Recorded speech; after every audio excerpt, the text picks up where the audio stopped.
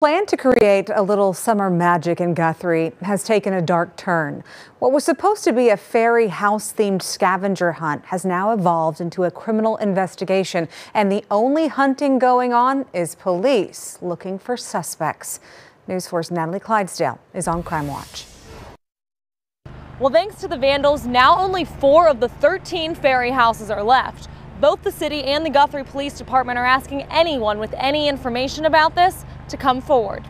This type of damage is offensive, and it should be offensive to everyone. It was an enchanting addition to the Highland Park trails in Guthrie. It was a neat deal. Got our kids that come together and, um, and things to make this kind of stuff, put a lot of time and effort into it. A generous Guthrie resident teamed up with art students at Guthrie High School and the Guthrie Job Corps to create a fairy house scavenger hunt. A bunch of little um, neat items, uh, fairy house, some other whimsical things that you could go around and locate um, in the park with you there. You could do it with your kids. But the magic quickly ran out.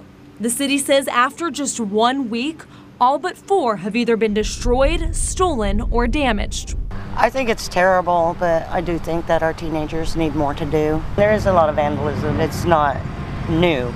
It's an ongoing problem. Sergeant Anthony Gibbs with the Guthrie Police Department says they're not sure how many suspects are involved, but says whoever is responsible could be looking at charges for vandalism, theft, and if they kept the houses knowingly concealing stolen property, which is a felony. We should be able to put out something like this for the enjoyment of everyone and not worry about whether or not someone's going to come along and take it. In Guthrie, Natalie Clydesdale, Oklahoma's News 4.